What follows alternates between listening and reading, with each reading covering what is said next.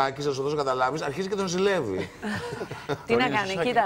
Άσπρο. Ωραίο. Ο Σάκης πολύ ωραίος στα άσπρα. Λοιπόν, παιδιά, άσχετο. Όντως η Ευαγγελία Ραβανή θα είναι παρουσιάστρια Το του Ελλάδα Ελλάδα έχει έχει ταλέντο. Μπράβο το κορίτσι, την πιστεύει ο Σκάι.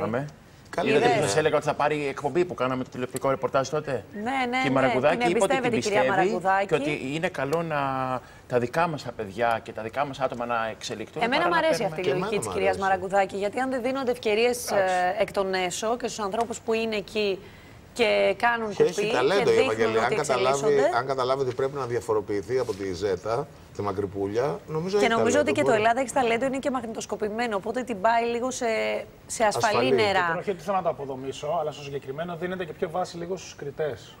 Εσύ κάνουν- μην πει καλή κουβέντα για την πρώην. Είναι Θα συντονισμός. πάθεις τίποτα. Είπα, δεν θέλω να το αποδομήσω, αλλά εντάξει. Εντάξει, μην- Ο έχεις Γιάννης ένα ο δίκιο. Σπαλιάρα τα πήρε λίγο τα κιλάκια του. Εγώ τον